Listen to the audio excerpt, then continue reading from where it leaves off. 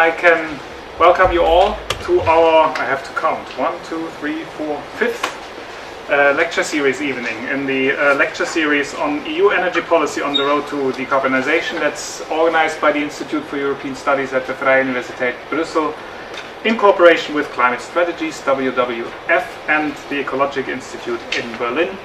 And we gratefully acknowledge always the support by the Jean Monnet Lifelong Learning Program. Uh, today's lecture evening will address transport and industry, two big sectors obviously that are very relevant for the decarbonization agenda. Um, we somehow had to put them in one lecture evening. I'm sure they would deserve their own lecture evenings, each of them. But that's uh, how, how we end up, and I hope we can have a fruitful discussion and uh, a dense discussion, I assume, because it's, as I said, two big sectors. Uh, it's my pleasure to introduce the three speakers of the evening. The first one will be Hans Bergman. He is a head of unit at uh, DG Climate Action. Uh, the head of unit, we just were talking about that, that's called benchmarking, but which is basically about the emissions trading system and industry. So his presentation, I assume, will focus more on the, on the industry sector. Um, and then afterwards, what did we now say, what the order would be? First, um, Tom van Lier of the Vrije Universiteit Brussel, um, the research group Mobility, Logistics and Automotive Technology, is that right? I hope. Uh, almost. almost, then you will uh, correct me later on, I assume.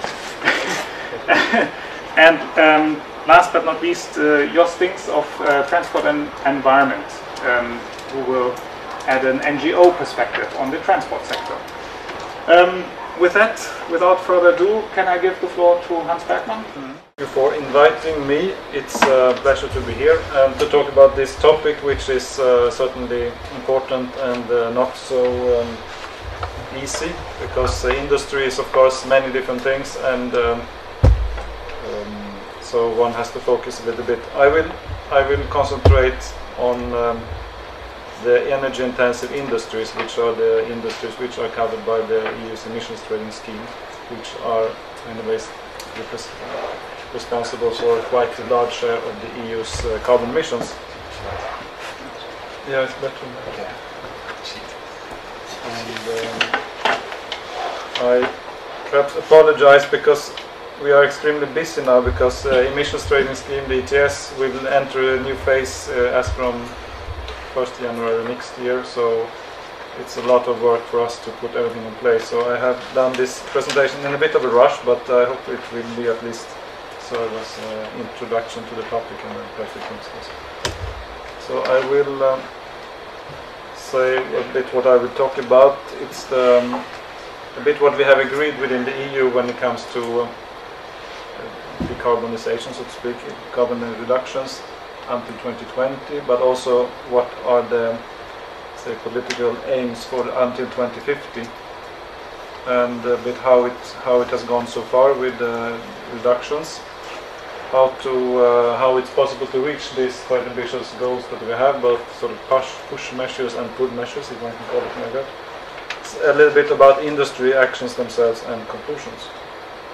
So the first thing you probably know this quite well by now, but um, you know we have this uh, goal of minus 20% uh, CO2 emissions by 2020 from 1990, and uh, conditional uh, step up to minus 30% if, if other countries are going ahead.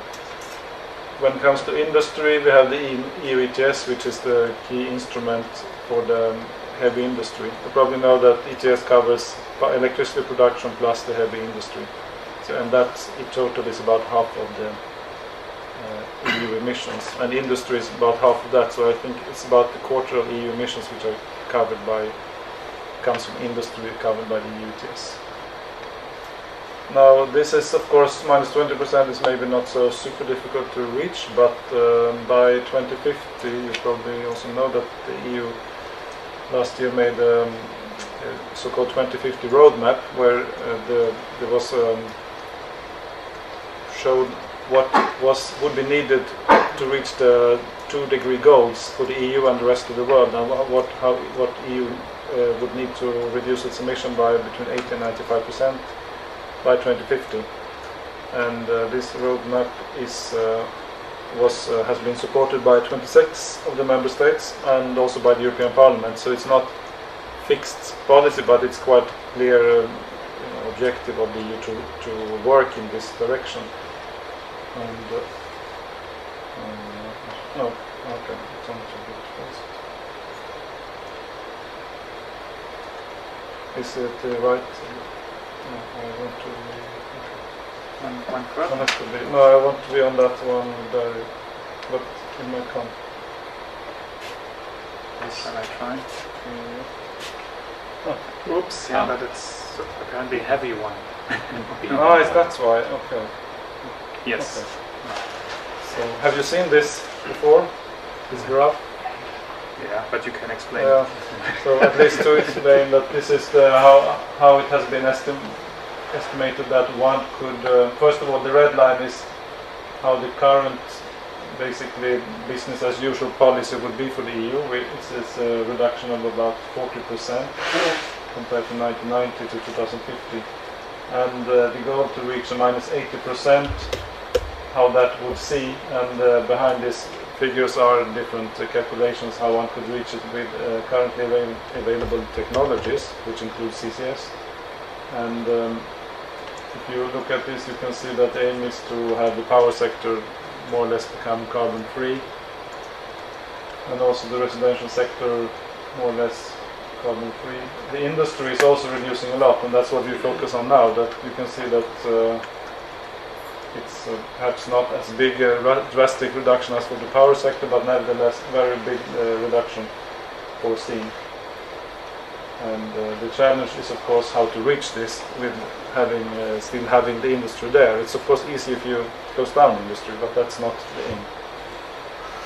So um, also how we have what is how the picture looks like now the green uh, upper part is how GDP has developed since 1990 and uh, um, the blue curve below is the primary energy use. It, it shows that it uh, has been a very clear disconnection between GDP and energy use and that shows of course hopefully a sign that can continue that one can work in that direction. So um, basically to uh, clarify exactly what, what I mean when I talk about energy intensive industries. It is uh, steel, non-ferrous metals, which is aluminium, uh, copper, zinc, things like that, uh, electro-intensive industries, chemical industry, the oil refinery industry, um, ceramic industry, the whole uh, area of cement, lime and gypsum industries, and pulp and paper.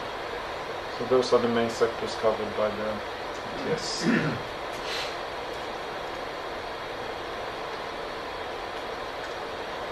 so, uh, so how to reach these goals now? The goals we have and the long-term goals. One measure is then somehow to push industry in that direction, because of course, industry knows best how to reach these goals. So, as I said, ETS is the main uh, instrument and it has a long-term trajectory to reduce the emissions. As I said, at the current pace, it will only reach this uh, minus 40% goal, but if we would have this more ambitious goal of 80%, ETS would need to be a bit um, be made more um, ambitious with a faster annual reduction. And uh, then, by as you know, maybe how the cap and trade system works, if emissions don't reduce as fast as the cap reduces, there will be a more demand for allowances, the carbon price will go up and there will be a stronger incentive to reduce the emissions. So um, somehow it will solve itself automatically, that is the way it is. But uh, of course the aim is, as I said, to, uh, to reduce carbon intensity of industry but not necessarily reduce the production. However, we can come back a bit to that. One can question should we produce as much of the most energy intensive goods as we do today? Can we find new uh, products to replace them with, or um, can we simply um, uh, change some of these products? For industry, of, course, all these sectors are very capital intensive, at least most of them in principle. So, uh, if um, some investment can of course be not very expensive, but many investments in the sector are uh, very costly and are expected to last 10, 20, 30 years. So it's very important for industry that they have long-term um, as much certainty as you can have in, in the current world. It's of course always a lot of uncertainties and the fact of climate change is also something that creates some uncertainty for industry. We know that, but it's also a policy area which didn't exist 10, 15 years ago and has risen as a huge global problem. So I think industry to some extent have to accept that to develop these policies and get them in place and will has led and will lead to some uh, uncertainty. But it's not only in the EU, it's everywhere in the world basically. If you invest today, if you invest in Europe, you know relatively well what kind of systems we have. In other countries, you don't know, but it's very likely that there will be climate policies in most countries. You know now China is working on it, Korea, and uh, many Latin American countries, etc. So it is something that industry, if one, for industries that are in this very energy intensive and CO2 intensive um, production, they have to, I think, live with the fact that climate policy will be an important strategic factor.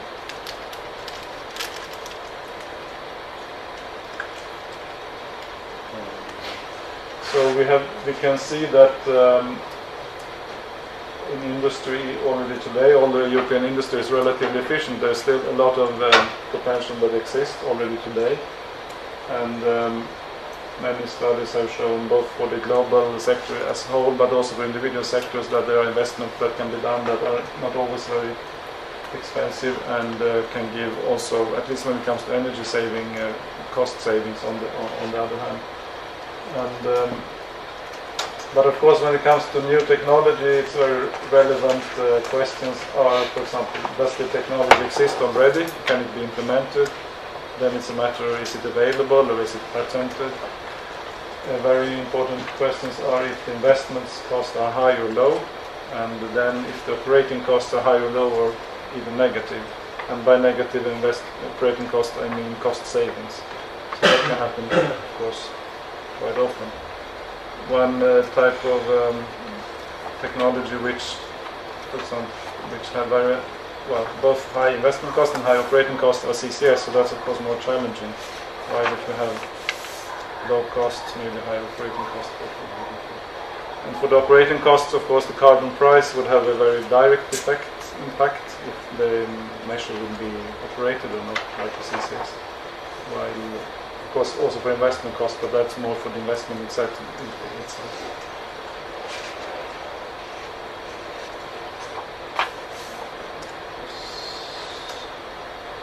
For this, uh, to go back to this 2050 um, um, work that the Commission did last year, there was also done modeling to see what industry should do to reach their goals, and uh, the three main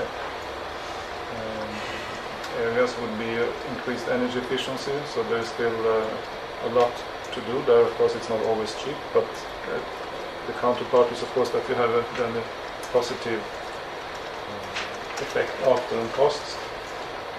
More use of uh, electricity in the electricity in the industrial production, and then, of course, it is then assumed that electricity is produced in a low carbon way. And uh, sometime in the medium future a large-scale use of CCS, carbon capture and storage, also for industrial uh, emissions and the process emissions.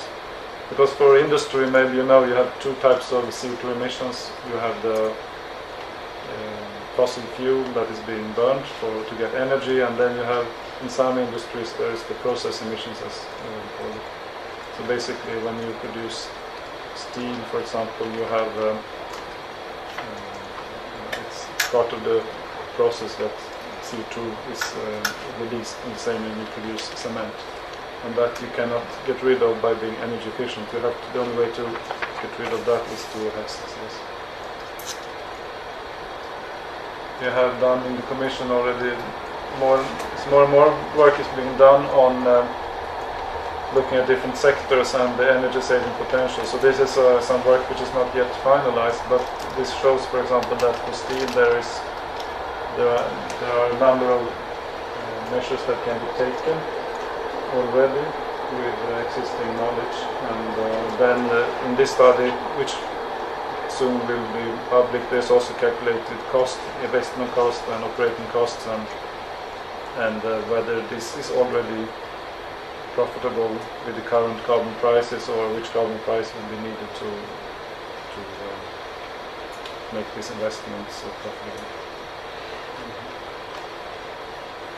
So to come to the other side, the one so the one thing is the ETS and the costs to reduce uh, to emit CO2, which creates this incentive. The other way is then we to reach this very ambitious goal. There is for sure a need for more research, innovation, and uh,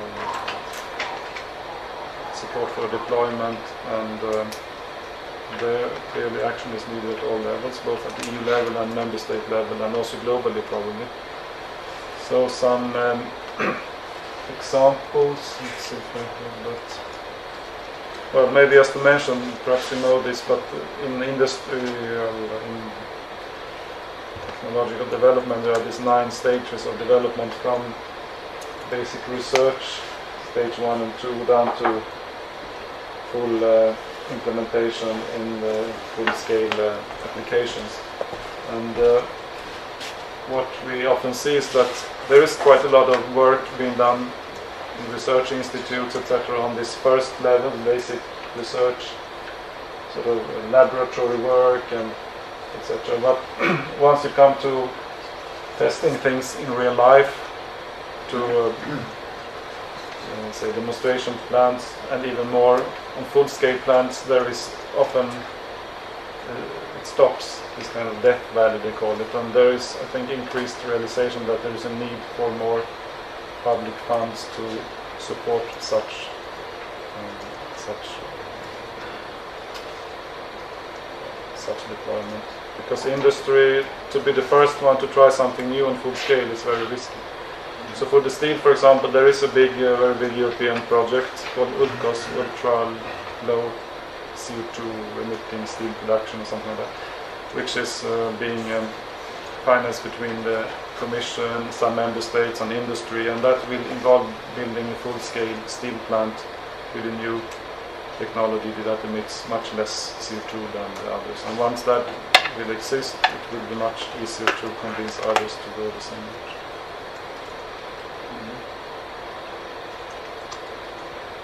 Then, uh, yeah, we, course, for technology, one should also think a bit further. We tend to think about how to produce cement a bit more efficiently or steel a bit more efficiently. But, um, you know, one can also think of a completely new way to produce something, and that some are working on that. There are those who are producing cement with almost no uh, carbon emissions today already, and uh, in different sectors you can do it. In chemical sector, they're working more now with bio-based uh, feedstock instead of uh, mineral oils and. Uh, and there also these new paradigms. I don't know much about it, but I read you can instead of producing chemicals in this huge complex, you can have very small um, production places which are only few would fit in this room. And I don't know, there are things that could happen, but maybe it's not for tomorrow. And then, of course, we can also perhaps use uh, new materials or use less of these very energy-intensive materials. For example, the cement is now used very much for building uh, structures. One could uh, use wood, for example. At least in Sweden, where I come from, there are now more several bridges made of wood instead of uh, cement, and they're building now apartment blocks also with wood and all that. So things can possibly change.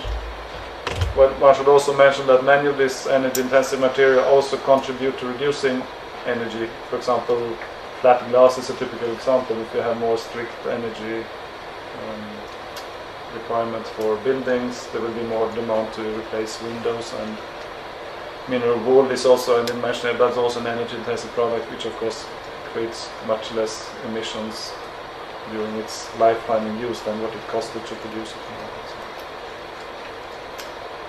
So there is in the we have these research funds and all that. Don't go too much into it, but uh, there is a lot of uh, discussion now with the new budget how much should be focused on this. This, but clearly climate-related research and development projects will have a high priority in the future.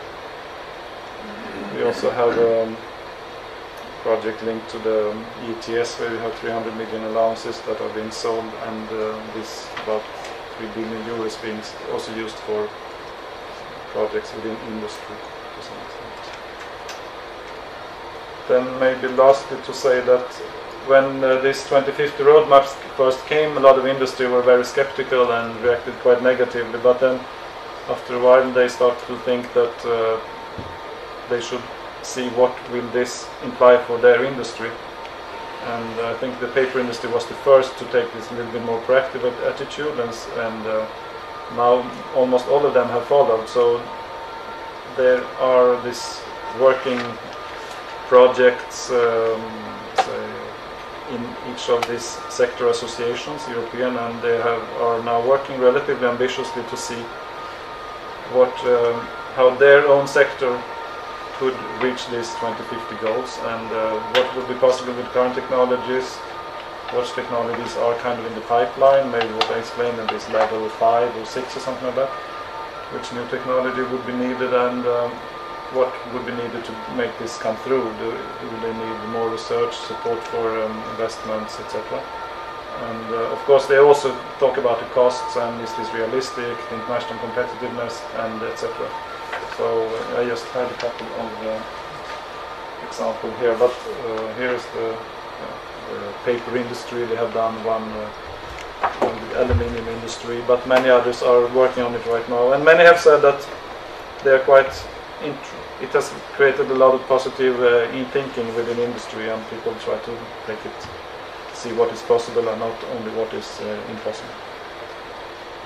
And then maybe should anyway always mention the international aspects because we have to be aware that our European industry is under competition from the rest of the world and uh, we have to all the time balance what kind of cost to put in industry compared to industry in the rest of the world. And therefore of course the work on getting an international climate agreement is very high highest priority still and uh, that's a lot of work on that but we can also note that a lot of as I mentioned a lot of countries in the world are now introducing hopefully climate policies which also will have an impact on their industries. And then it will be important for our industry to be ahead. And there's of course also, now I talk mainly about the emitters, but we have also the very big industrial sectors that produce technology to reduce emissions, and they are of course very much in favor of ambitious climate policy because that gives them clients and they can develop new technology which they can sell to the rest of the world. That is basically my my presentation. Mm -hmm. So it's quite a challenge. Many opportunities exist, but um, we have the economic incentives, but also we need a support for research development. We have a need for long-term policies. In a way, we have it already in the EU, ETS, by ETS, which is already decided for 2020 and beyond, but probably needs to be a bit more ambitious. And as I mentioned, the industry is working on their own on this also. Thank you, thank you very much, uh, Hans for that uh, presentation on, on the industry sector. I'm sure there can be lots of questions, uh, but we'll save those for after the other two presentations because otherwise we may not have enough time. And thanks especially also for sticking to the time. Uh, I did, because okay. okay, good. Uh, thanks very much. So if we all can do that, then we'll have enough time for discussion at the end. Um, we move towards the, well, yes, I can give you a sign after 15 minutes right. if you want. Good evening, ladies and gentlemen. I would like to thank IES for inviting me and giving me this opportunity to present. In fact, I'm replacing my supervisor, Professor Macharis, uh, who supervises my PhD work. And uh, we are part of the MOBI research group, which uh, focuses on three main themes, sustainable logistics, electric and hybrid vehicles, and sustainable mobility. And for those different uh, themes, we develop tools to do analyses, like, for example, developing an external cost calculator, which is more part of my research. Um, in the context of this presentation, I will try to give you an overview of uh, what we think about the challenges for sustainable transport and give some ways where you can improve that sustainability. But as already mentioned, 20 minutes is a very short time, so it will be not exhaustive, but more like examples of ways to improve the sustainability of transport. Um, and just to start, um, we all know that transport is a necessary condition for economic and also social activity, freight transport, passenger transport, but it also causes a lot of nuisances. And if you look at uh, it from a perspective of decarbonization, we are looking at the fact of the emissions of greenhouse gases, but of course you have lots of other emissions, air polluting emissions, that are also very important from a transport perspective.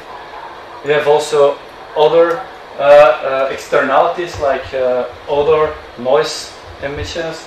You have also another category of congestion related costs.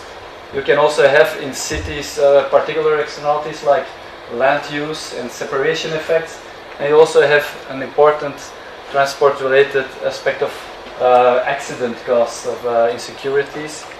So it's very important to realize that sometimes you can impose measures that lower your carbon dioxide emissions but have negative aspects on other externalities. So it's not always, if you focus only on the decarbonization, you might do other things that are not so good from a sustainability point of view. Um, sustainability in transport has only emerged in the last decades. Before, you only looked at the economic dimension, and transport was measured in terms of its contribution to growth and the efficiency uh, ways that it could help to uh, to keep people employed and get them to their jobs from a competitivity point of view. But in the last two decades, mostly, there was also more focus on two other dimensions that made the picture much more complicated the societal point of view and an environmental dimension. So transport was also measured in terms of its safety, health aspects, accessibility, equity aspects, and on an environmental part, on climate change, air quality, those other externalities like noise, land use, biodiversity, and waste. Um, just shortly, some slides to give you an idea. This is one from 2000 already.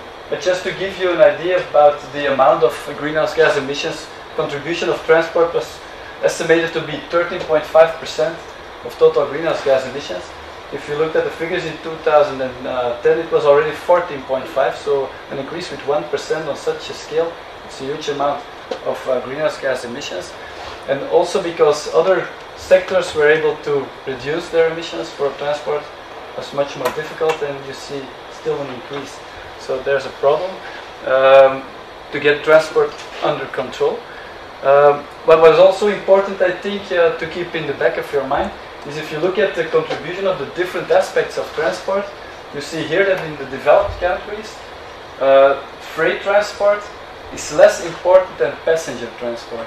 And in my presentation, I will focus a lot on sustainable logistics, on freight transport, but it's important to keep in mind that if you do only work on that aspect, you lose a lot of potential to reduce carbon emissions because most of it is contributed by passenger transport. So that's an important aspect. Now, if you want to make it more sustainable, why is it not happening or not happening enough? I think this one is rather good in explaining why it's so difficult. Here you see three different categories of investments if you want to invest in more sustainable transport. It can be from a private point of view or from a company point of view. If you look at the first category, those are investments or projects where the economic return is bigger or uh, goes beyond the break-even point of the investment. So for a company, if you have an investment like this, it makes economic sense to do the investment. So those are mostly realized projects. But if you look in reality, there are lots of cases where there are such potential investments that are not being done because companies are often not aware of some of the options or alternatives that exist. See that often in a shift to intermodal transport, for example, that some companies or a lot of companies are not even aware that those options might be economically feasible for them. So even all of those potentially realizable projects are not being realized. Then you have a lot of projects or concepts or, uh, or investments where the economic return does not reach the break-even point of the investment. If you only look at the economic return, if you also take into account the social return, if you would take into account all those externalities and the things that you can save on that level, those investments become, from a societal point of view, interesting to do. But companies or individuals are not going to do this unless there is some incentive, be it maybe a subsidy or something else, another mechanism, to make those investments feasible and to realize them. But then you get an whole discussion of who should invest which part and how should you do it. And sometimes it's concepts that are not well known and you need pilot projects or even legislation that has to be changed in order to get those investments realized. And then you have another category where if you look at the economic and the social return together, those are not reaching the break-even point of the investment. But here you can ask the question, can you measure that social return adequately? So it's often not easy to calculate what is involved.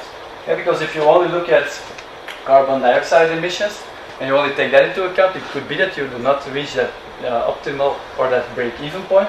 But if you go and look at the other externalities and you take those also into account, might be that such an investment becomes feasible and should, from a societal point of view, be implemented.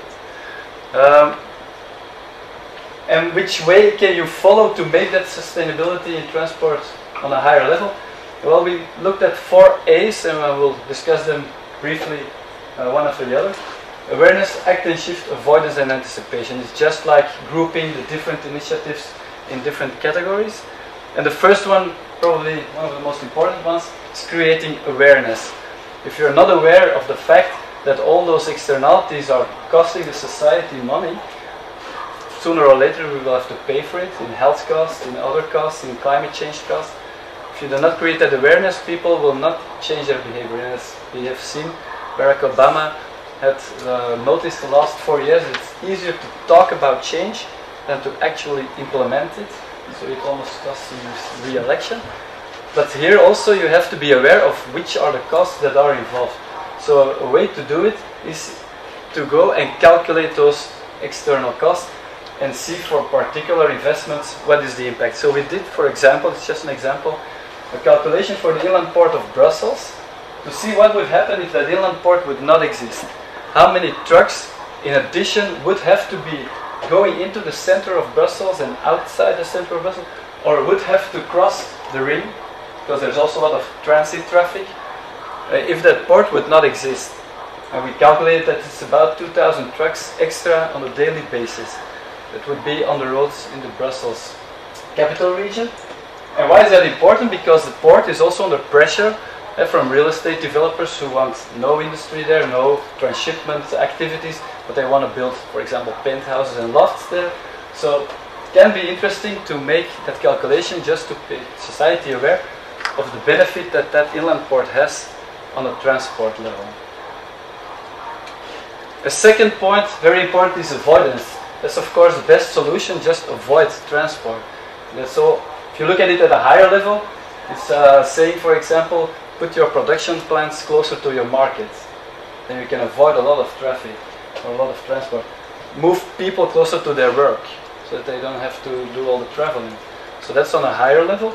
But you can also look at all the traffic that's being done with empty trucks, for example. There's a lot of traffic on the roads with trucks that are not optimally loaded. And if you look at this picture, you see the blue line. Of course, if you drive with an empty truck, it already has a rather high energy consumption. And the more you load into the truck, of course, that energy consumption in absolute figures will rise. But if you look at it in relative figures expressed in grams not per vehicle kilometer but per ton kilometer, you see an incredible decrease. Of course, most, mostly in the beginning, if you have no loads, your emission per ton kilometer is infinite if you carry zero tonnages. So if you look, for example, in a more refined calculation on the level of the load in tons and the amount of empty truck kilometers. If you look at this, you see for a, a large truck, 40 to 44 ton truck, if it carries 10 tons of load and travels 40% of empty truck kilometers, which is not so extreme, then he has a uh, carbon emission factor of 134.2 grams CO2 per ton kilometer. If that truck would drive fully loaded and avoid any empty kilometers, that would be a factor 3.4 or less. So you can gain incredible amounts of carbon emission reduction by bundling loads. Why is it then not more done often? Well, it has to do with this kind of picture. This is a model to show you the different kinds of companies collaborating to bundle load. You have first of all an internal collaboration within a company. That's rather easy to achieve. You only have to work with people inside the company, but even then you experience barriers. If you work with vertically in your supply chain and you work with suppliers or clients, and it's also you see that lots of times it's possible to make improvements. But the big potential is of course in horizontal collaboration with, for example, other organizations or even with competitors. And you can already see in the color codes Green is easy, yellow is a little bit less easy, and red is very difficult. You see that working together with competitors, of course, for obvious reasons, is often very complicated. So there's a lot of literature around all the barriers that are involved in getting companies to work together. There are some successes. For example, this picture shows you something uh, that has been done in Belgium between two major retailers who bundle their freight in one frozen goods distribution center and distribute the goods together in one round, one milk round, instead of all the different companies doing their own transport. But because it's so sensitive, we're not even allowed to show you the name of those retailers. they just don't want to know that the people know that they would work together because it's for their image and stuff, it's very sensitive. So it's a difficult thing. This is another example from the Netherlands, and it's uh, 12 transporters working together try to bundle loads from different clients.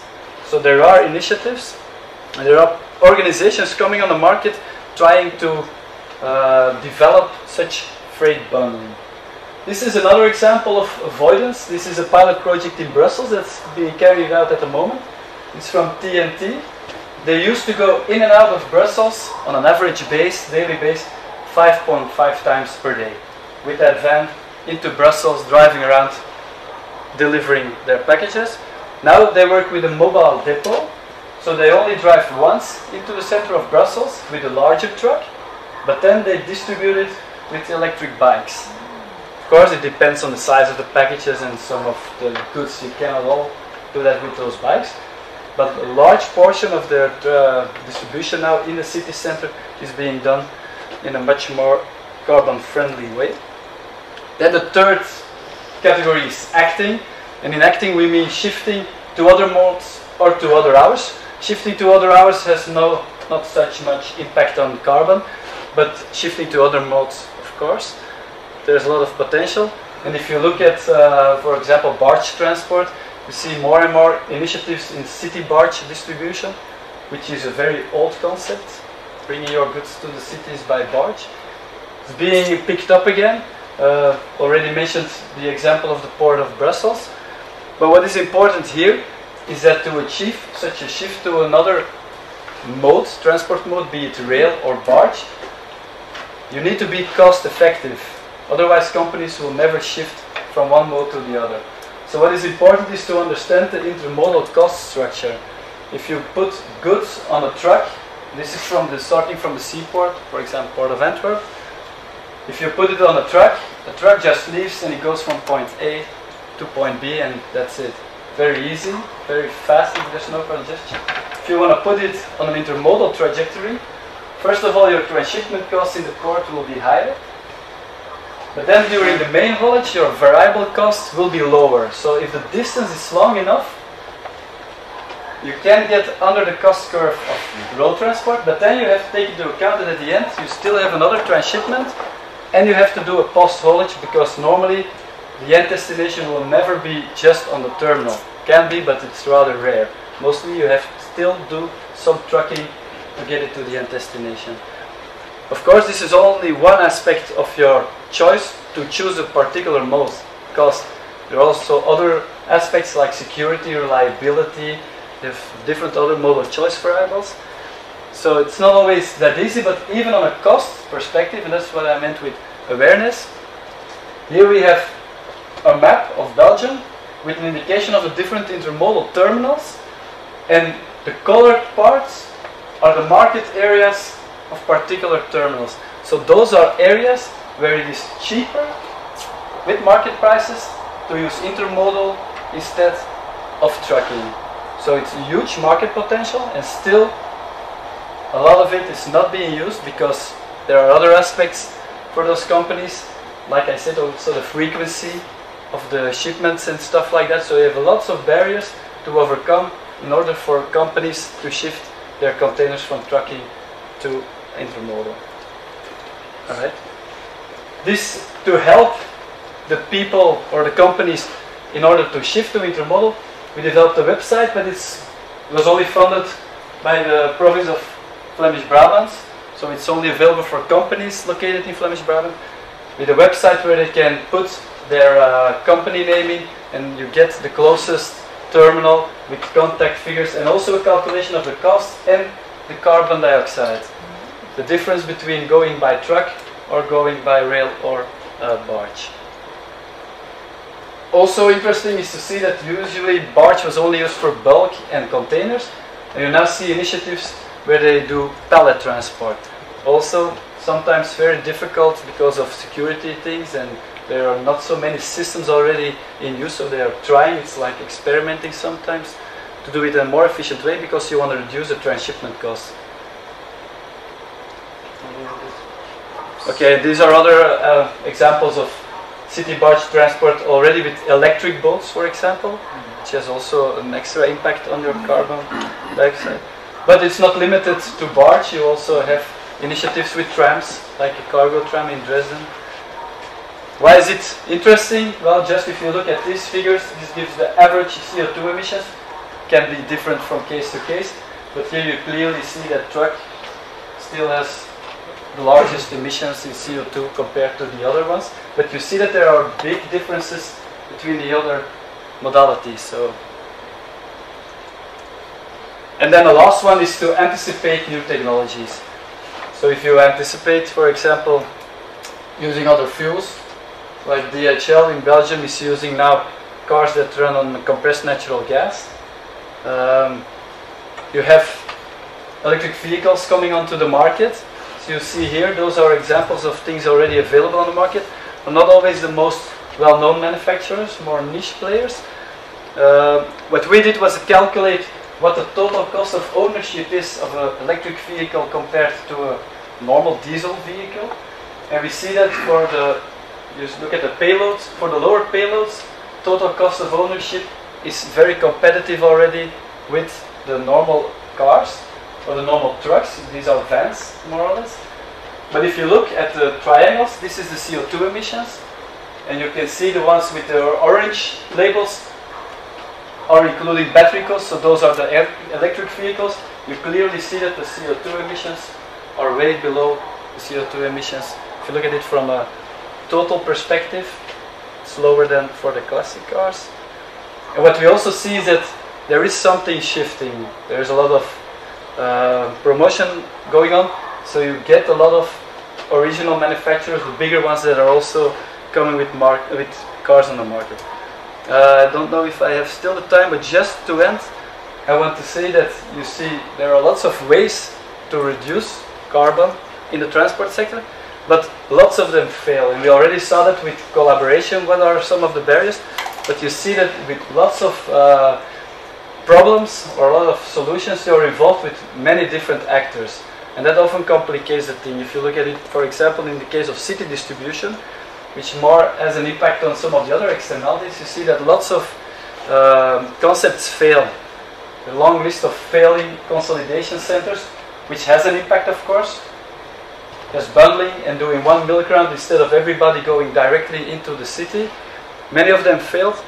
It has to do because you are with a lot of different stakeholders, authorities, citizens, logistics service providers, receivers and shippers, who have different objectives often in different markets.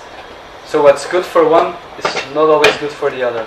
And so you need to do something that incorporates the criteria that are being important for the different stakeholders and put it somehow in a framework where you take all the different criteria into account. So then you can work with different instruments to bring all those sensitivities into into card uh, or to uh, to assess it, and then make a decision. So that was just a short overview of what are possibilities to improve the sustainability of transport. And okay. Excellent. Um, exactly on time also. Um, so that's a nice introduction. I assume that Jos Dings of transport and environment will be able to relate to this in one or the other way. Um, so I immediately hand the floor to you and uh, do, do we have a presentation here? Good. I just a few minutes to uh, briefly introduce myself and uh, who I am and my organization.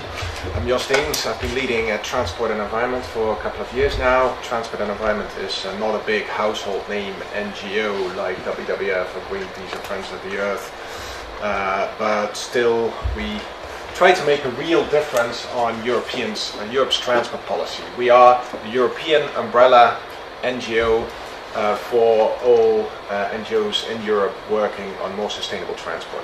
So it's our job to try to make European policy uh, on transport greener.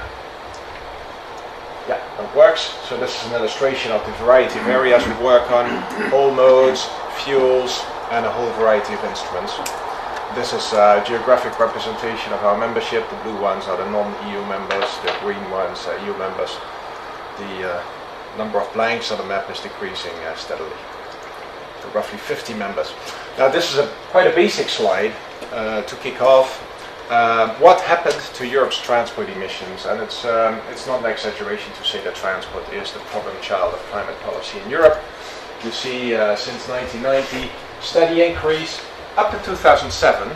The less well-known story is that since 2007 transport emissions started to fall, of course associated with the economic crisis, but hopefully also some policies uh, made, made a difference. We are now 7% below uh, peak levels in 2007.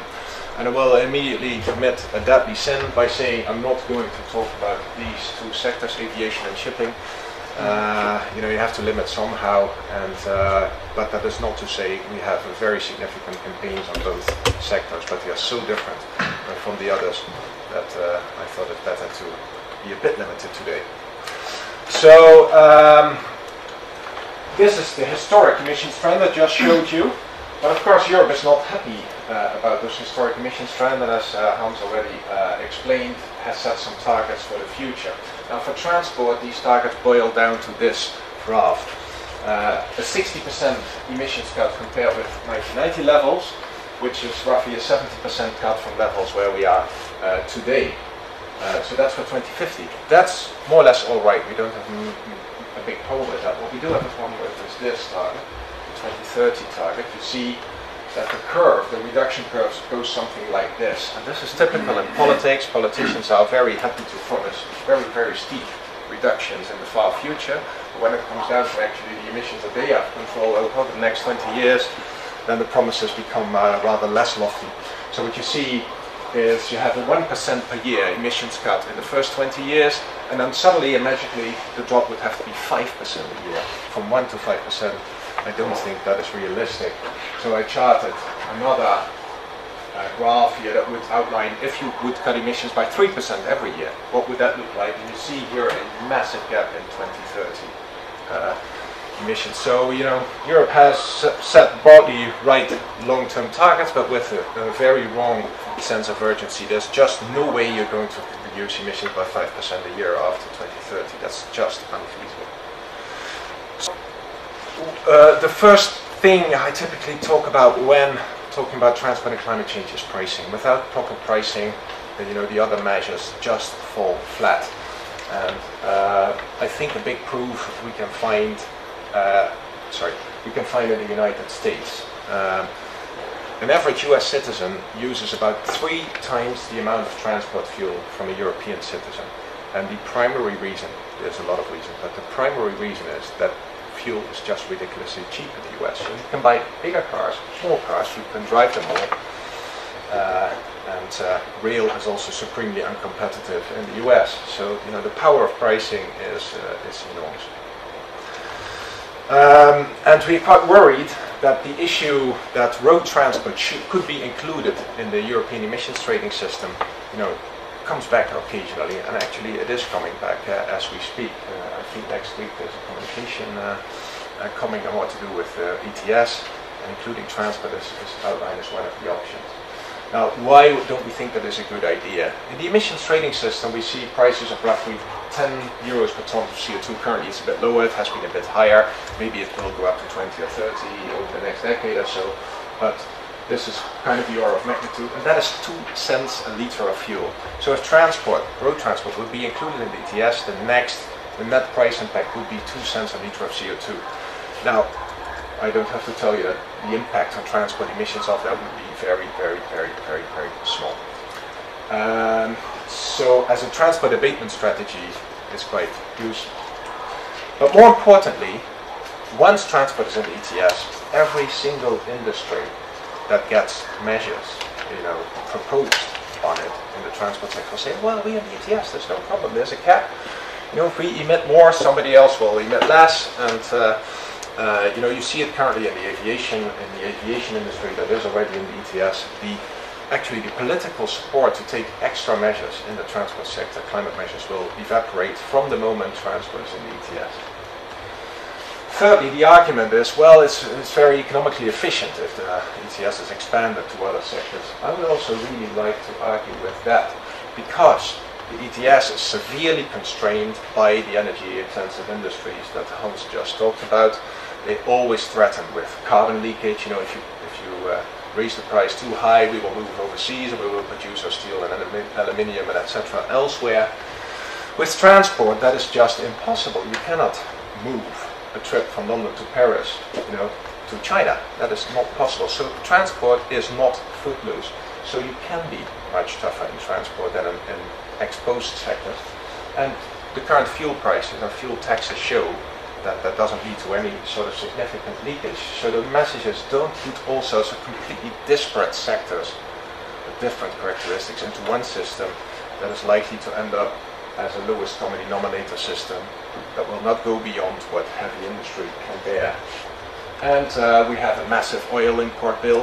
Who has ever said that uh, taxing uh, imported oil is a worse idea than taxing labor? So, you know, I would argue that the optimal carbon prices in transport are much, much higher than optimal carbon prices in industry. This is what I was talking about. The oil import bill uh, is going up relentlessly. It currently stands roughly at a billion uh, euros each day, and so roughly two-thirds of that is for transport. So, you know, I, would argue that uh, a tax on fuel, as we currently have, is quite an efficient way of raising government revenue. Yeah. So you have, I would put, put this argument in a bit of a broader context in, in transport. Uh, I think Tom also briefly talked about it. You have this philosophy that we should internalize external costs, and after that we are more or less finished. I would say inter internalizing external costs is really step number one. That eliminates the distortions in an economy, that makes the economy function more smoothly. But after that, you get a much more difficult question.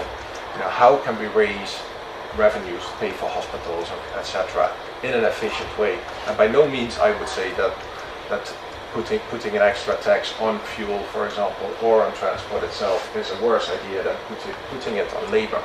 And as a matter of fact, I, I am actually quite frustrated with uh, the fact that there is not a serious NGO worldwide in Europe or at a national level uh, outlining the benefits of a green tax shift. What we're currently doing is just crazy. We tax labor to death. We are surprised that we have unemployment. And we don't tax carbon very heavily. And we're surprised we have a lot of carbon emissions. And you know, this story needs to be told. And by no means, I think, that this story is politically killing. You know, I will come back to that a bit later, but there are some good examples of uh, what you can do. This is what happened to fuel taxes since uh, 1980 actually. Corrected for inflation. I must say that. That's corrected for inflation, but you know, we correct everything for inflation, so why not fuel taxes? Actually, the surprising result is fuel taxes peaked in Europe in 1989. They have gone down ever since. The fact that oil has, at the pump, has become more expensive as a result of higher oil prices on the world market, but also uh, you know, everything becomes more expensive. Bread is also a lot more expensive than it was 20 or 30 years ago, and somehow we find that much easier to accept than in the case of fuel. But, you know, I wanted to say that if you talk about a green tax shift, you lose votes. That's the general paradigm.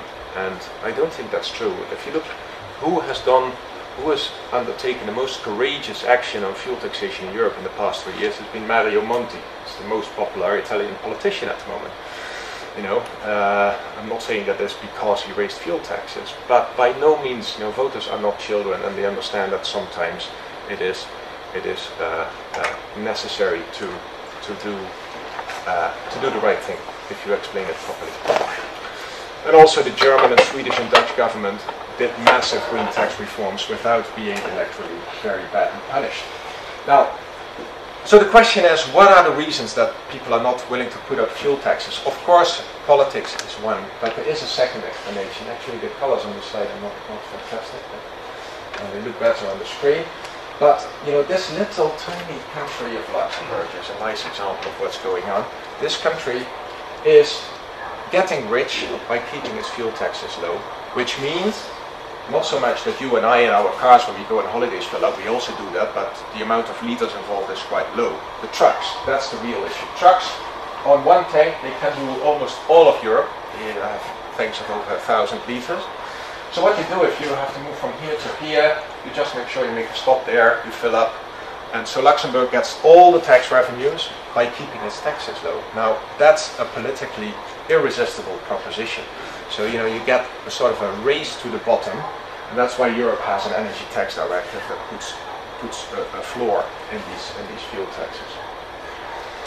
So, uh, um, and it's not just Luxembourg, it's also uh, Slovenia. And uh, Slovenia, for example, has also uh, morphed into a fuel tax haven.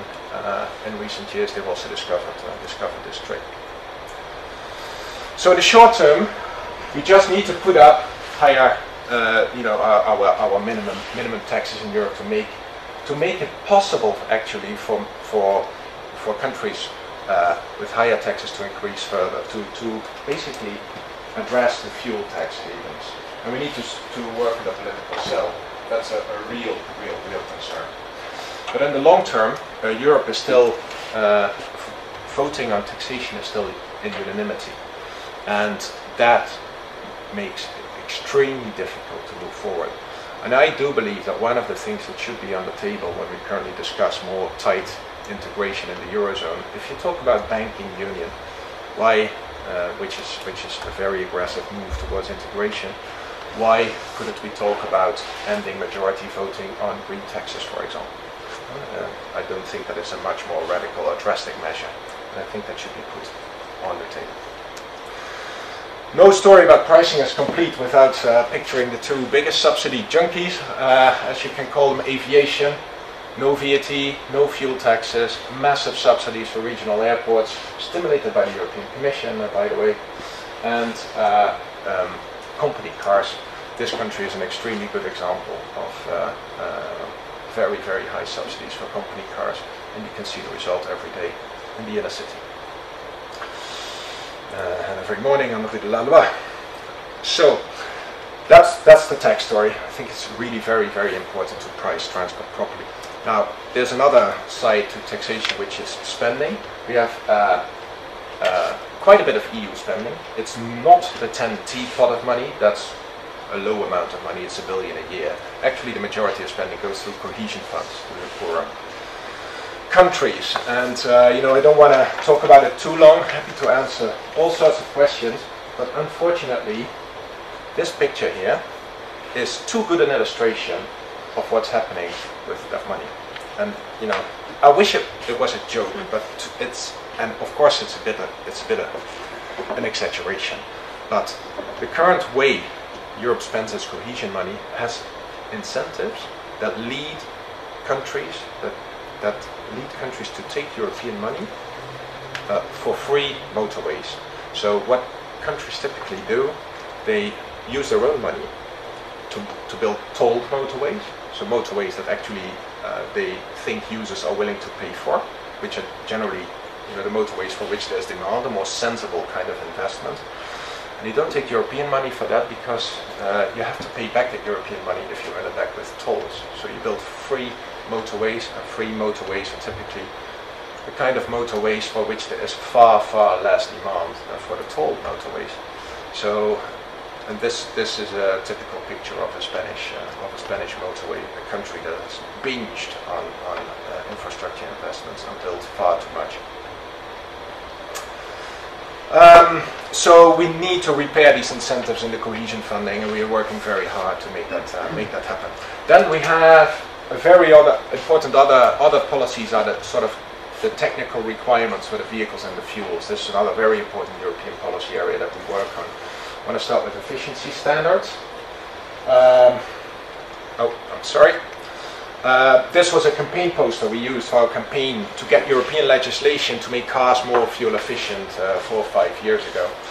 We uh, actually dug up uh, the first model of Volkswagen and we compared it with what the current model of, model of Volkswagen uh, used in terms of fuel and actually it was exactly the same amount. It was just too good to be true. So we made a nice big campaign poster ahead of a parliament vote and uh, in the end, it ended up in the European legislation to force car makers to make their cars more fuel efficient. So this uh, is a curve of what happened since. So you see relatively slow progress in those years before that legislation, and then suddenly after the legislation, all the manufacturers here suddenly started to make their cars a lot more fuel efficient, and CO2 emissions went down really quite quickly. Actually, this is an unpublished graph. You're the first audience that I'm showing this to, so. Uh, uh, we put, we are going to publish this in, uh, in, two weeks or so. Uh, but there is a snag, there is a snag. The reality is unfortunately a bit worse. This is another graph from another organization, but these are the official CO2 figures, more or less the same pattern as I just showed. But actually, if you ask users, what is the actual fuel consumption of your car, then they report something like this. And the two curves are comparable. They, they are similar cars. So um, so the real world fuel consumption in everyday life is improving much, much more slowly than the official CO2 figures uh, suggest. And this is a real worry, and we also we're also going to address this uh, uh, quite heavily next year. There's there's a lot, a big story behind it, but not not, not for now. Uh, 15 minutes. Yeah. Then uh, in the field of aviation, something similar is happening hardly any progress in fuel efficiency, contrary to what the industry might want you to believe. This is a very, very old aircraft, 1958 Lockheed Constellation. This is a modern aircraft, actually one of the best-selling aircraft uh, still at the moment, and they use they use just the same amount of fuel. Um, and this graph shows why. This is a propeller aircraft, the Lockheed Constellation, and then came the jet aircraft, and fuel consumption shot up by a factor three, and then they started to improve jet aircraft, and we're now back to where we were with, with propellers. So it's it's it's a story that you see much more often. Of course, today's aircraft are a lot better than the Lockheed Constellation. They fly fast and they fly higher and more comfortable, and etc. But they don't use less fuel. And the same is true for cars. They're bigger, they're more comfortable, they're safer, they're faster, powerful, etc. Don't use so much less fuel. So. Uh, I'm happy to say that ICAO, the worldwide aviation body, uh, is doing, apart from a lot of harmful things, also something useful. They're trying to develop a CO2 standard for new aircraft. So maybe, maybe we'll see some improvement over there. Um, shall I go into this? No, I don't think so. Then on the fuel side, there's a lot of development on the transport fuel side. This is another quite complicated graph. These are fossil fuels. This is carbon footprints of different types of fossil fuels, well to wheel, so from exploration to actually combustion. These are biofuels. These are the direct effects of biofuels that are typically included in life cycle analysis. You see that they are typically below fossil fuels. But the light blue is actually uh, the indirect land use change emissions. It's the latest hype uh, in the biofuel country.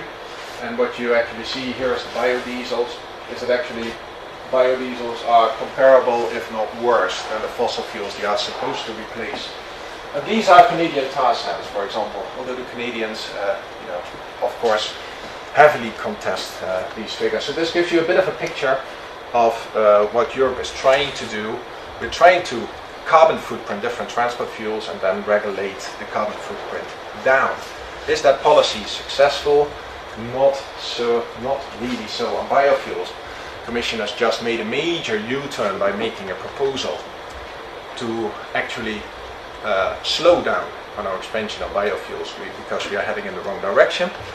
And of fossil fuels, um, Canada and the oil industry have joined in an unholy alliance to fight efforts, uh, you know, that Europe should open up its market for, for tar sand based uh, petrol and diesel. Europe is still resisting, uh, and we're also trying to trying to uh, address that. So, in a very very short, you know, summary, you could say that hydrocarbon fuels, so fossil fuels and biofuels, both hydrocarbon fuels, are actually not really decarbonizing. And they are refusing to have themselves decarbonized. They are refusing to actually uh, accept legislation that would force their carbon footprint down.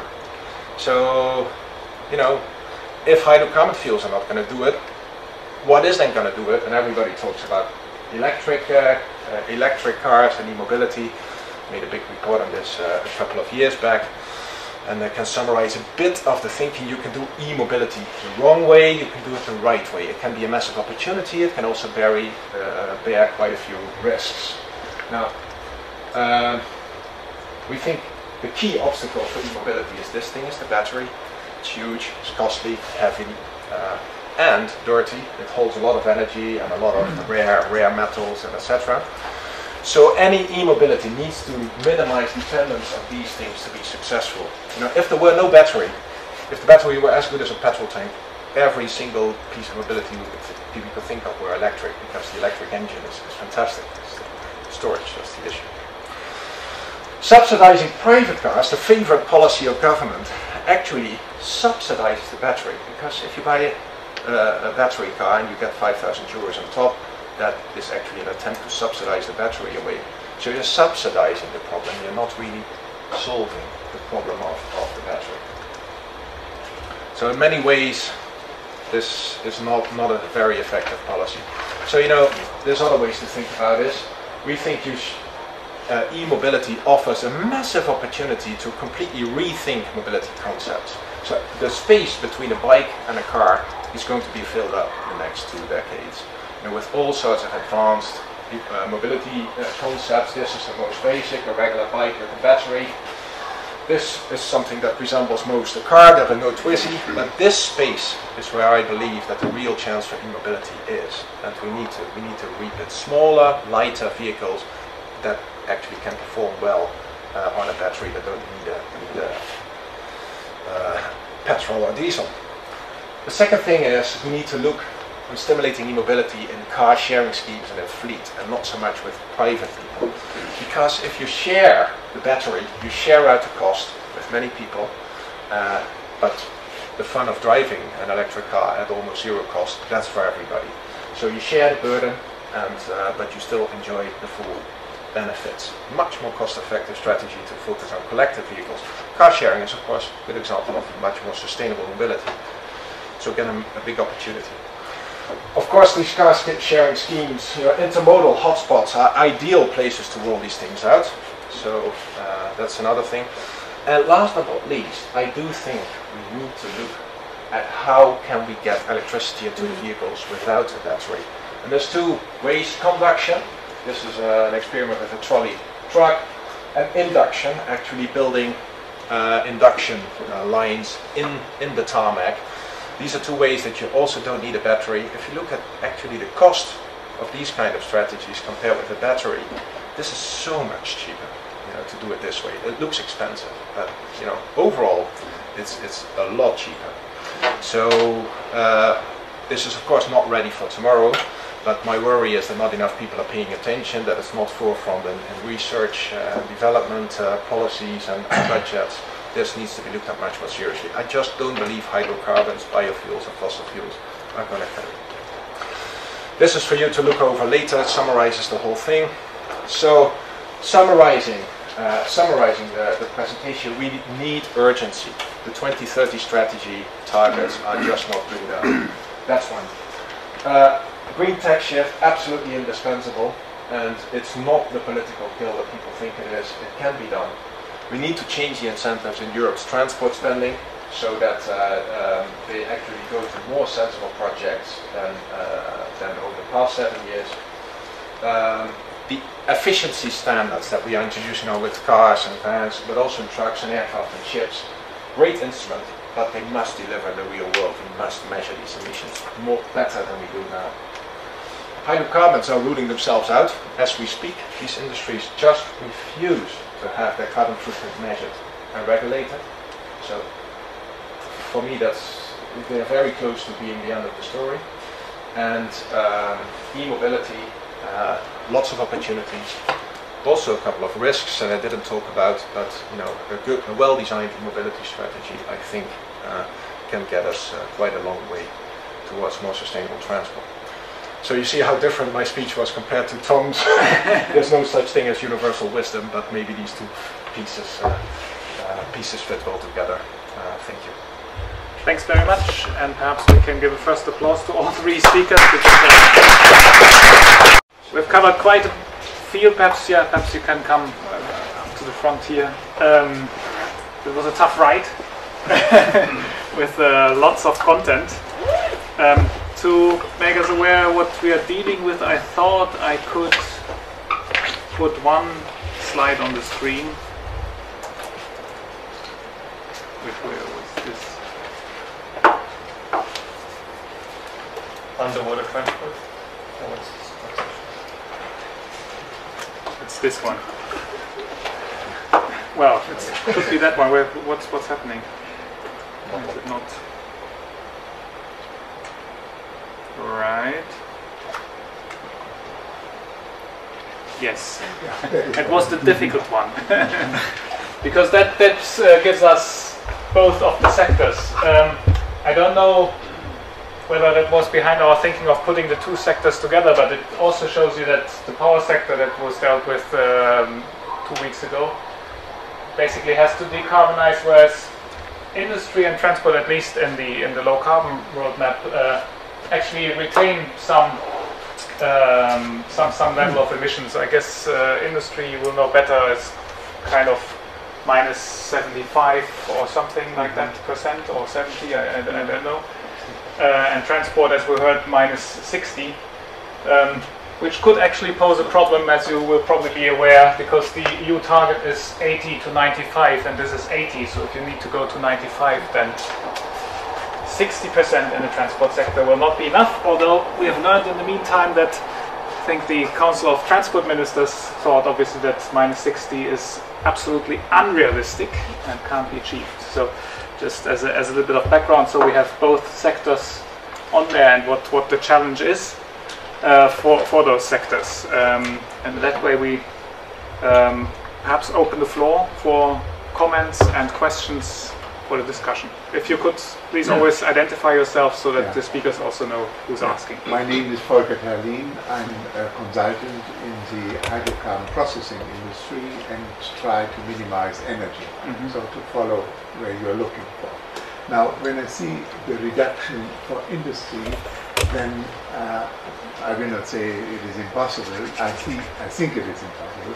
But the question, what came up during the thought, so we should be constructive, is that uh, I see huge investments in the Arab countries where the hydrocarbon processing um, is moved to uh, commodity products. That means they convert then the um, crude oil into um, through steam crackers into the ethylene and deliver then the products to Europe. That means the industry that is currently partly here will move more to the uh, Arab countries where then the CO2 uh, will be blown into the atmosphere. Now, how is the counting on this? I assume that when we reduce the number of chemical plants and refineries in Europe, then the curve will go down. Is that correct in your counting? When we reduce the industry Yeah, yeah, here. yes. So, but it may not. On the other hand, counteracting is the fact that the transport will increase, but the transport is relatively cheap because the transport will be by barge Yeah. and by ship. Yeah, yeah. So overall, this can be managed if we move out the production into other countries. But from standpoint of, let's say, physical and chemical uh, uh, law, uh, it will not be possible in case we keep the industry here. So this is one point I have, uh, a comment as a consultant from my experience. The other question I have is what can be done to help better predicting where uh, and how and which risk policy we should get uh, CO2 reduction. My proposal, not only here but in other places for this discussion, is to learn to model these kind of things. We can model weather, we can model uh, even the electric grid, which you know is a bottleneck at this time, to uh, increase the low the, the uh, power generation from the North Sea into the countries, into the south. Uh, the networks are perfectly modeled. They have the tools to say we need to increase this line and that line from the north to the south. But I do not see that the European uh, experts help to model the situation here and make the policy then based on improved understanding of the interaction between what is happening there because there is an interaction between power sector and industry, residual uh, and uh, and others and transport. So uh, one will impact the other. So you reduce in one, but may increase somewhere else. So I feel that the modeling should be done more properly and should be used to increase the policy. What is the current status on this kind of thinking? Okay, let's let's try to collect uh, uh, a few. I don't know to what extent you are an expert on modeling, but everybody has heard about the models that the Commission is running there. Um, anyone else? Yes. So um, we take there in the second row. Uh, we can collect a few, I guess. Please. Thank you. Uh, my name is Tom Antonissen. I'm a former VV and EAS student, and I'm now a lobbyist.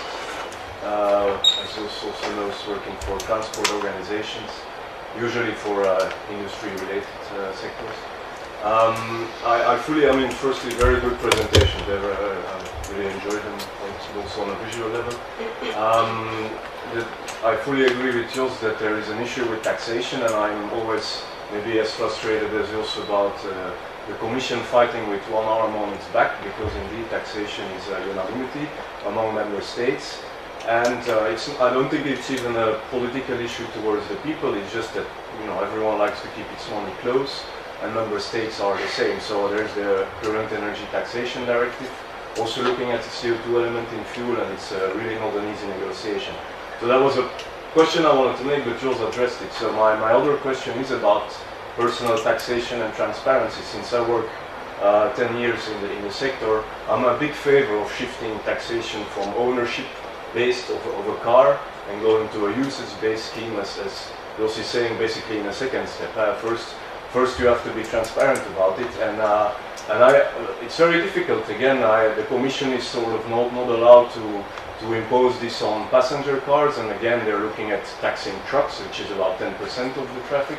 So uh, that would be a question to the commission, how difficult would it be uh, to, to get passenger cars involved. And finally, as a Brussels resident, you can say, Brussels made you do this in all member states. This time I wouldn't mind, because usually I might. And my last point on that is that once I tried to ask at the Brussels Ministry of Economy, and I, I know as an independent how much taxes I pay, I don't know where they are going. Could I get an overview on a yearly basis on where are my taxes being distributed? And if I know that every day I pay, uh, for example, a euro for public transport, but I never use it, I might start thinking, okay, with an extra euro, I could actually better use public transport for this particular uh, trip uh, and not pay uh, two euros to use my car again, uh, because I, I, do like to have my car, and I don't use it that much, so that's why I would like to be taxed on its usage. So that's a bit my, my point. Okay, let's try to take two more, and you keep, keep notes if you please here in the front. My name is Chris Keda, India Scientific. We develop next generation energy technologies. I have a question for Tom. You started your presentation saying that uh, the passenger transport will actually uh, uh, creating most emissions, and then the rest of your presentation was about not about about this subject. So I was uh, I'm interested to know if you could perhaps also talk a little bit about that. And Claire? Um, Claire Dupuy, Institute for Institute for European Studies. I have a very specific question for Jos. Um, it was your graph about the real world CO2 figures. Just wondering why is that difference? Is it because of driving habits or is it something else? Like, what is that difference between the official and real world figures? Okay, let's perhaps draw a line here. Perhaps we'll see how long the responses take and take a couple of questions after that still. Hans, do you want to start addressing the, I guess, the first two questions Yes. potentially? I don't know whether you can talk about the taxation issue also. Yeah. I think that both uh, first and second questions are a bit related about is this realistic or not, and um, is it uh, how do we model? Because okay, I was not directly involved, but I understood that this has been uh, made based on models which are quite sophisticated as far as I understand, and uh, for example for industry as I mentioned, and all of that that is based on available technology in principle, where CCS is of course one, and one can of course discuss the cost. Is it is it you know does it is it feasible from a cost perspective? But um, uh, it is at least uh, as far as I understood supposed to be possible. Now I know per sector, perhaps not. You know it's it's, it's different per sector. Not every sector should reduce the same. And uh, that model is is um, modeling the whole economy, so it's all the sectors together. So, for example, I think that one reason to reduce industry emissions is that they should use go from fossil fuel to electricity to some extent in certain sectors. And then, of course, it's linked to industry, so there would be more electricity production, but then then should then be, of course, low carbon electricity production. So that is how it's intended. One can, of course, uh, discuss is this realistic or how is it modeled. Everybody has opinions, but I think those models that I use are relatively well established models. Uh, so that's perhaps. Then, uh, well, there was a question on, you to me. I don't know. I, I, I don't work on transport, so to be honest, um, I don't think I can say so much. But I can agree, of course, what you said. Taxation is in the EU context, and what you said very much also is that it's unanimity um, for the member states to discuss. So it's very difficult for the Commission to uh, get its proposals adopted.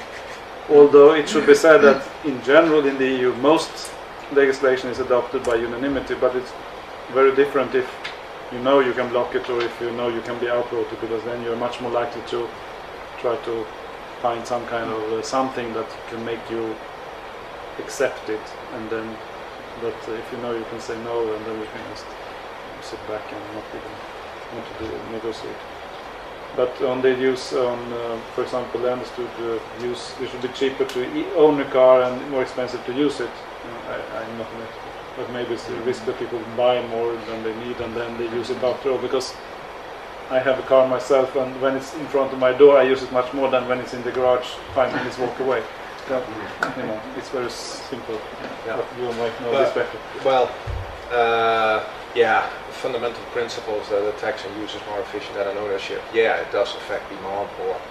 But uh, you know, in these this time and age, you know, taxing a car itself, uh, you know, particularly if you tax a very expensive car, you know that uh, it's kind of a low risk way to raise revenue as well. So you know, you have to you have to limit your your ambitions, and particularly if you're not a car producer, what you're actually doing is taxing a foreign car producer indirectly.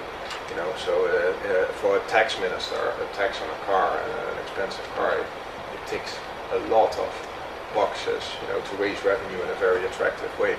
Now, on this unanimity issue, I am really quite surprised that nobody in the current context where the Eurozone is taking one drastic measure after the other for more tight economic supervision, centralized, you know, control of budget, that there's talk of a European finance minister, that there's talk of, you know, centralized Eurozone budget, that you have a European uh, you know, bank, uh, bank uh, union, at least a, a, guarantee fund for banks, which is very, very fundamental change way of, you know, financial interdependencies that are relatively straightforward uh, uh, thing to prevent tax profiteering, because that's what it actually is. Uh, you know, cannot be adopted. I'm not saying that Europe should harmonize all sorts of taxes. That's not what I'm saying. You know, but there are cases where you have this race to the bottom where you have these perverse incentives that countries can, over the back of their neighbors, you know, have lower tax rates and attract more capital as a result. Now, not, that's not often a bad thing, but in the case of fuel taxes, it's clearly a bad, uh, a bad, a bad thing.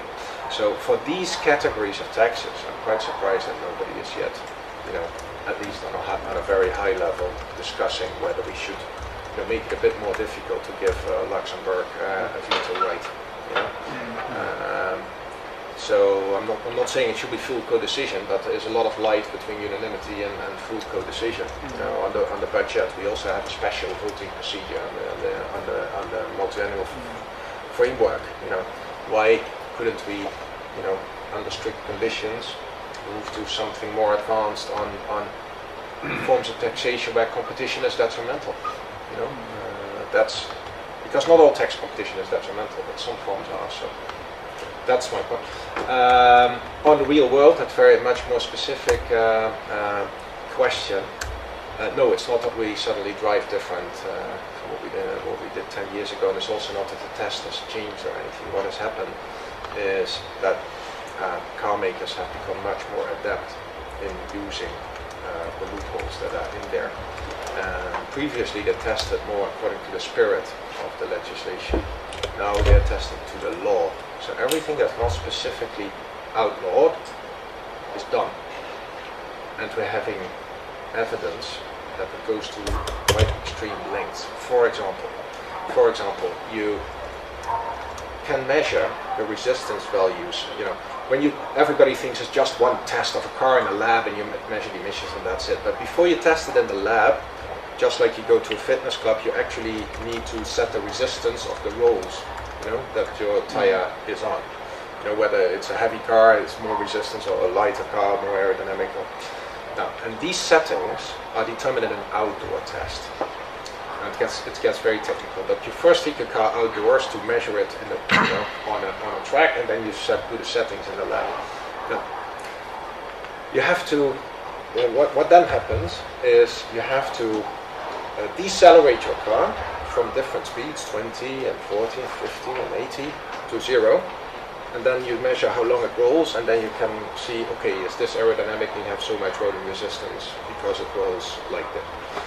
You have to do that in two directions because of the wind. You know, if you have a storm in this direction, you have to also take the storm in that direction within an hour. That's but what it doesn't. And there's another rule that says you the it doesn't have to be completely flat. It can be 1.5% tilted. What it doesn't say is that you have to use the same track back and forth. So, yeah, there is a track in Europe that actually uh, enables them to measure downhill in two ways.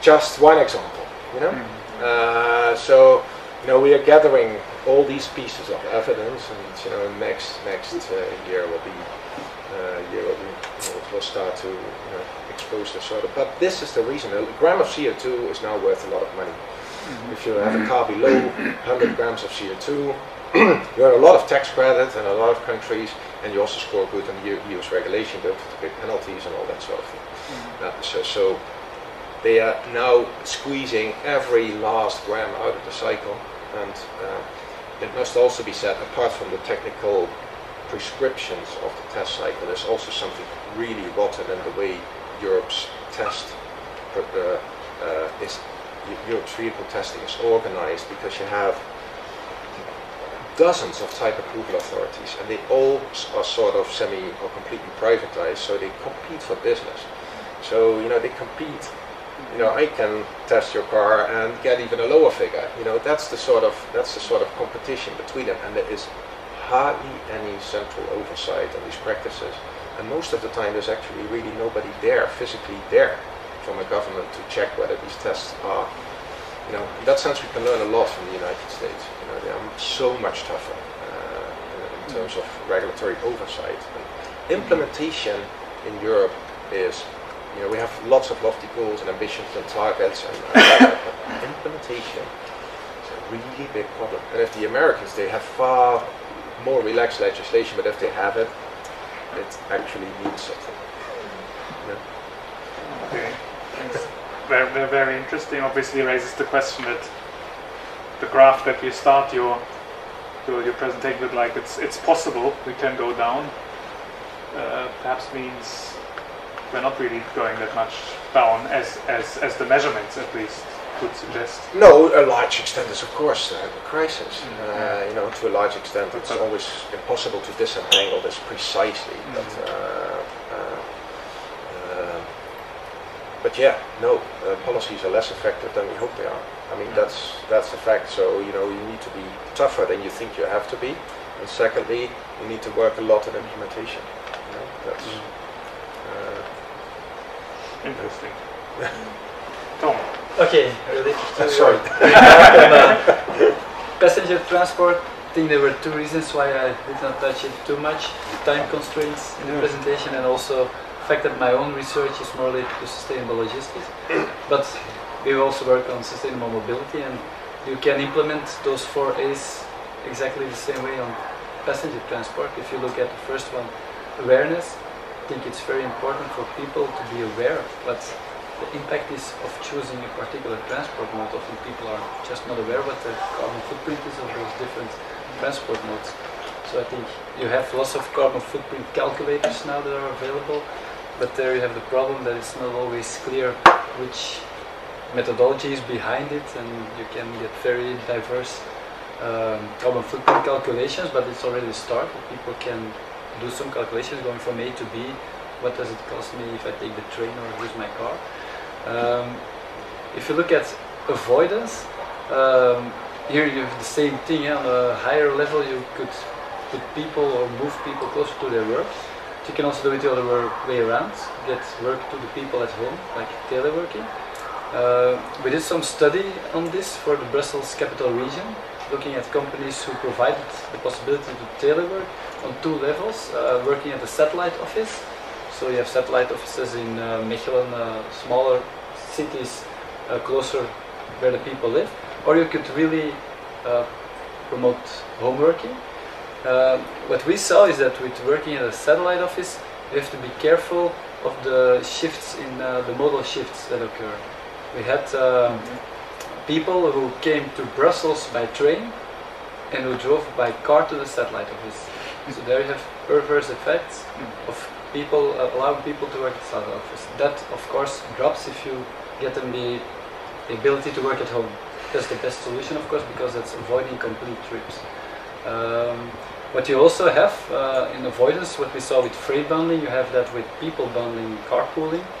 Um, but he, the complex adaptive system that you have with freight bundling also plays a bit with carpooling. You have lots of barriers, more also on a personal level, where people have to match if they want to join cars. Uh, you lose some flexibility. You have to adapt time windows. People have to get to the same places at the same time. So it's not that easy to impose carpooling systems. Um, if you look at uh, act and shift, that's more like uh, shifting transport modes. There you have the what you have with intermodal transport. That cost structure does not play with shifting from car transport to public transport because prices in uh, in private transport are not that clear or visible. If you take, for example, a bus in Belgium, if you take one in Flanders, the ticket price you pay only covers 13% of the actual price.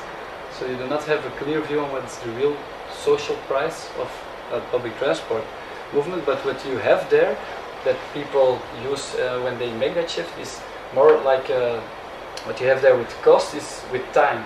The transshipments uh, cost extra time for people. If you take your car, you don't have to, to do those transshipments.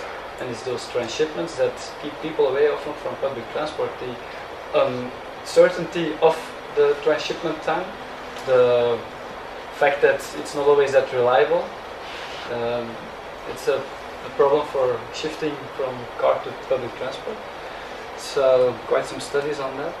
And then with the anticipation of new technologies, you also have the electric vehicle uh, story that's also apparently uh, for, for passenger cars.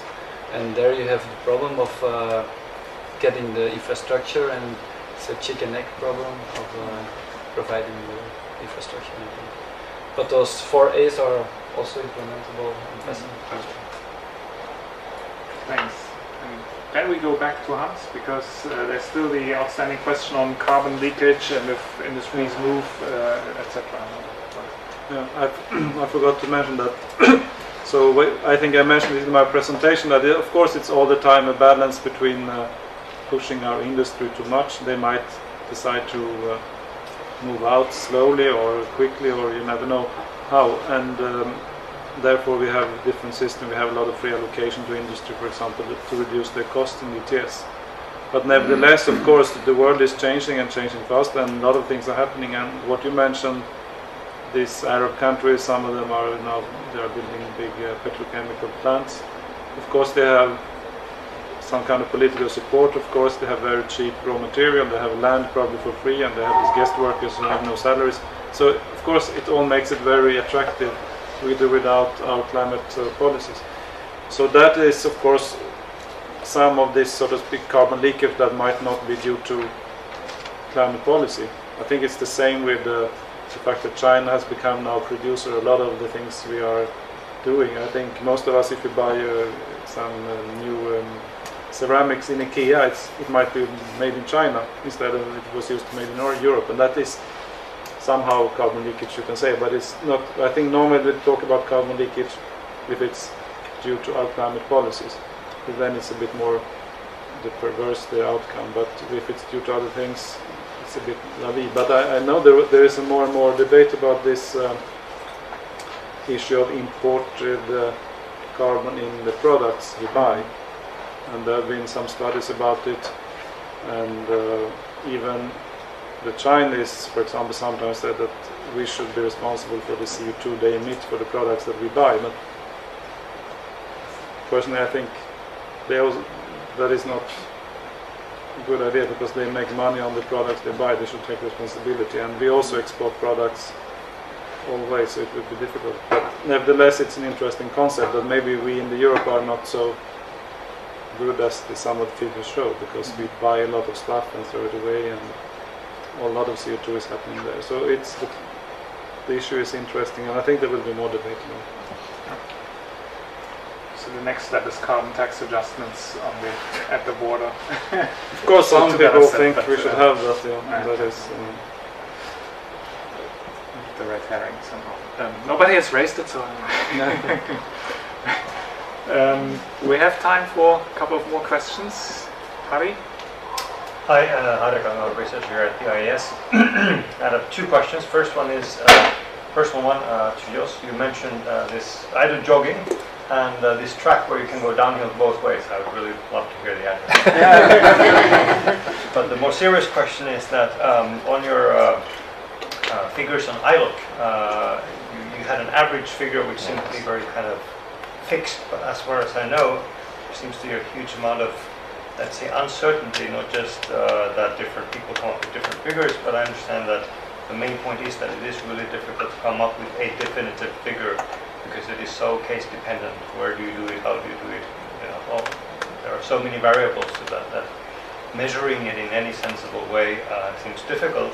And adding to that, if you start, uh, let's say, putting that type of measurement on fuels, you might then ask why only fuels? There are many other things look at consumption overall of food and other things where you also are causing ILUC type of effects, so why would you limit then that only to fuel? So do you have any views on these two interrelated questions? Yeah. Wait a sec. Oh, oh I need to Because we- My short-term memory is still good. I have, saw uh, Christina. A question yeah. Yeah. So my question is more policy oriented to the transport and in the Commission's proposal for a single European transport area. Um, the Commission set up a very ambitious goal for 2030 and 2050 for clean, clean urban uh, development and infrastructure, like uh, phasing out of conventional fuel car by Oh, yeah. 2050 and uh, also 50% shift of this Yeah. long road of freight transport to, to, to rail and, um, and to shipping.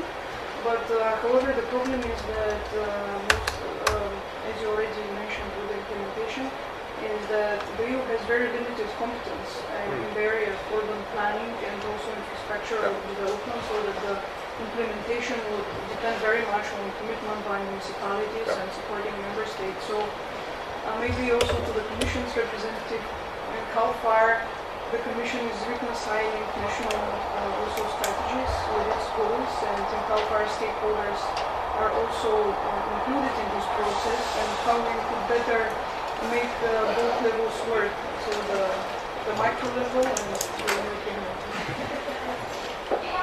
Two minutes to eight. Um, oh, there's one in the back. Uh, okay, please. Uh, Daniela Stojczuk from Polis, uh, European Network of Cities and Regions for Sustainable Transport. Uh, I have a question related to the electric cars, which are for personal use. And my question is, is it true that currently they are actually producing more CO2 emissions than, than reducing the CO2 emissions? Because uh, because of the lack of the infrastructure, as you mentioned as well, we can't actually use them on long distances, and so people basically use them as a second car next to the normal car which uses petrol. So basically they uh, produce more CO2 emission for the production, producing them. And maybe there is a transition period after which this won't be the case. Maybe we can uh, Okay. So perhaps perhaps we draw a line here. Already some depletion in the audience going on. Uh, can I ask uh, just to Uh, first on ILUC, yeah, uh, scientific uncertainty, of course. These, these, uh, this graph are the figures that the Commission uses to underpin its proposal. So that's sort of the official figures. And of course there's a bandwidth, and of course there's scientific uncertainty. Nobody denies that. But there's also a scientific uncertainty with the direct emissions, this life cycle, and what all the science says is that the ILUC is a very significant problem. You know, and if you draw, for example, a parallel to the debt crisis, we have a very significant debt crisis. You know, we don't have to uh, argue about that, but the, the recipes and you know all the models that are that are run to to assess the policies to resolve that debt crisis, how much we should do austerity, how much we should, they all come with widely different outcomes. Doesn't mean we should address, we should not try to address the debt crisis as well as we could.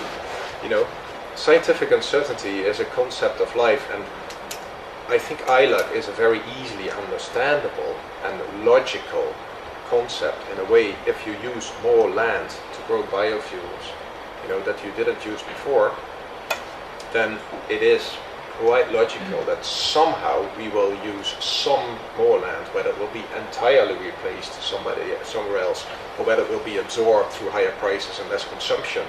You know, that's open to debate, but that we will have more pressure on the agricultural system that will emerge somewhere on the globe.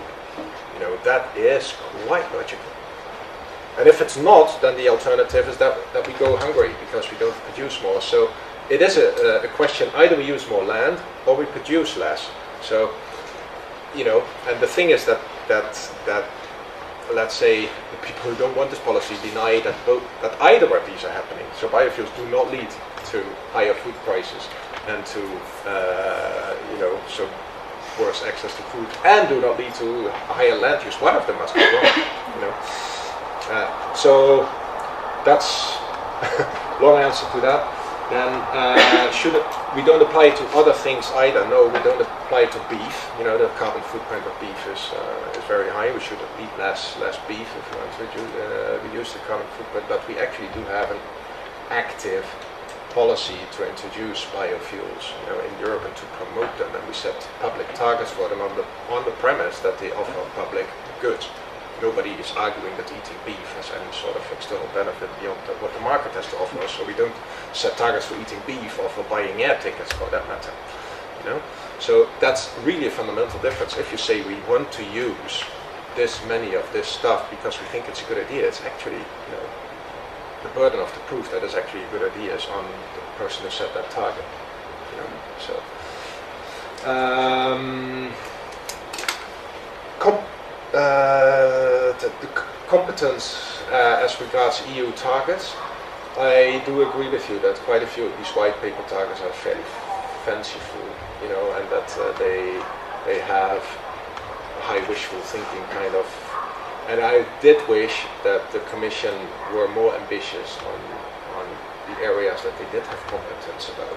For example, you know, we need to make sure that by 2030 all our cars that are come to the EU market emit 90% less carbon than they do currently.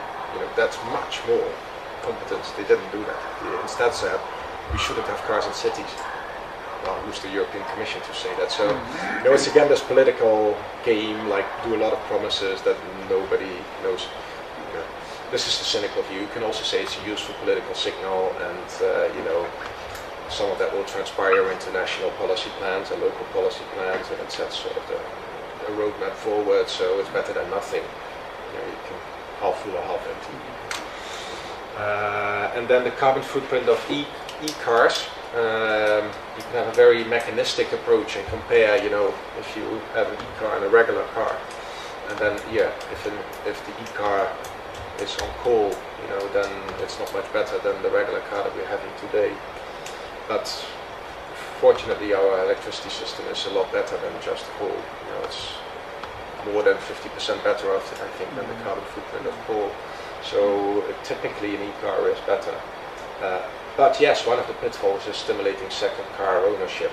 Uh, and you know, one of the things I said in the presentation, you know, it's useful to put your money and your resources into the most efficient ways to promote sustainable mobility. And I don't think a subsidy for you know wealthy people for which an electric car is a nice second car alternative, uh, you know, is the most efficient way to use public money to you know, to take us on the road to, to low carbon transport. There's much more intelligent ways. I think.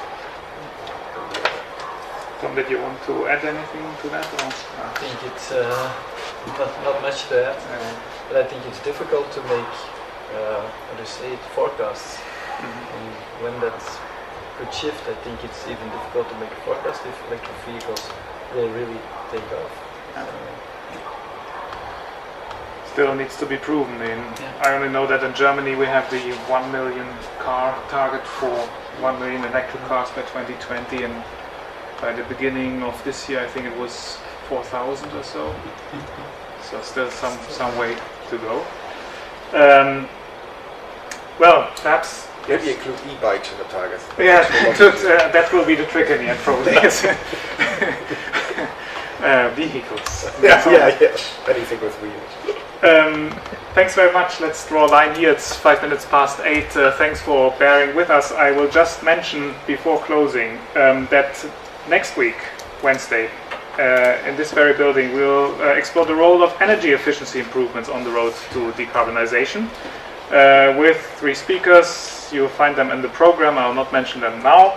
Uh, hope to see you back then. Thanks very much to three very uh, interesting and very inspiring um, presentations and a very lively debate. Uh, thanks to the speakers. Perhaps we can give them another applause. Thanks very much.